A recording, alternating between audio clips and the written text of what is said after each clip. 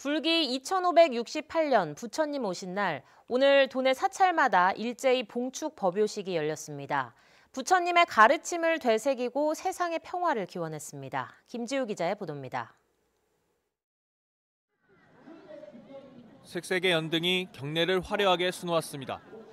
신도와 도민들이 모인 가운데 석가모니의 탄생을 축하하는 봉축법요식이 거행됩니다.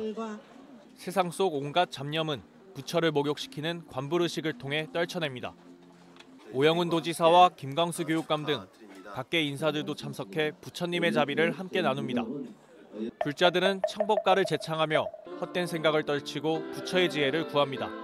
허운 스님은 마음의 평화, 행복한 세상을 주제로 진행된 법요식에서 어려운 여건 속에서도 희망을 잃지 않는 삶을 강조했습니다.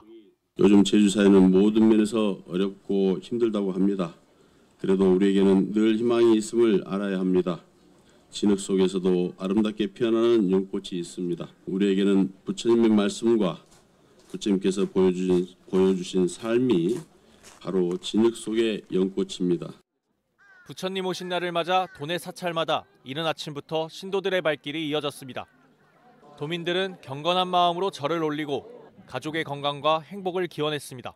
미륵 보살님 요, 요 상에는 제가 오면은 꼭 본당에도 들리고 어, 여기에도 꼭 이제 인사를 드리는데 제가 마음속에서 좀 간절히 원하는 거 축원을 드리면 꼭 이루어 주시더라고요.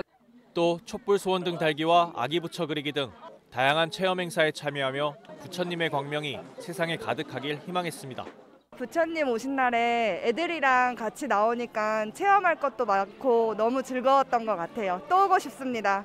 그리는 게 정, 정말 즐거웠어요.